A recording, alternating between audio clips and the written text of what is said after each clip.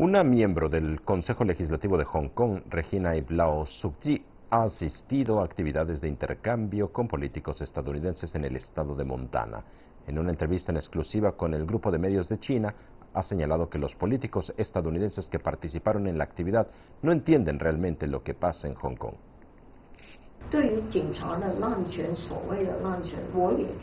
Frente a informes de medios de Estados Unidos sobre la policía de Hong Kong, comenté a los cuatro congresistas que participaron en esta actividad que los alborotadores han tenido comportamientos muy violentos.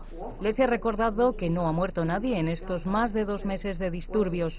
Los congresistas lo comprendieron y señalaron que respetan a la policía. En Estados Unidos ha habido muchos casos en los que la policía ha sido declarada inocente tras matar a alguien de un disparo. Los políticos estadounidenses conocen totalmente la contención de la policía de Hong Kong y saben cómo el gobierno y las autoridades de Estados Unidos protegen a la policía. Regina Ip Lau Suk Ye señala además que los políticos estadounidenses no están muy familiarizados con la situación de Hong Kong, pero que están deseando escuchar otras voces.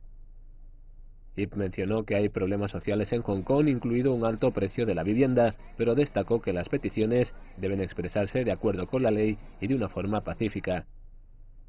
También manifestó que la violencia reciente ha quebrantado la ley y que la mayoría de los residentes de Hong Kong no pueden tolerarlo. Por otra parte, asegura que muchas personas no están familiarizadas con el principio de un país dos sistemas y que necesita ser explicado más en el futuro. CGTN en español.